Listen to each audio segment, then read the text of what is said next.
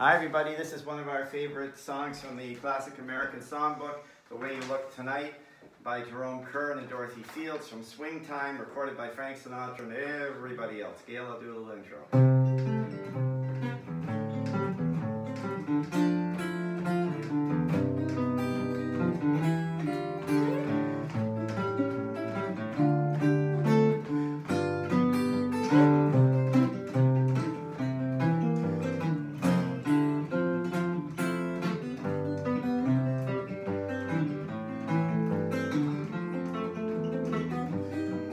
So.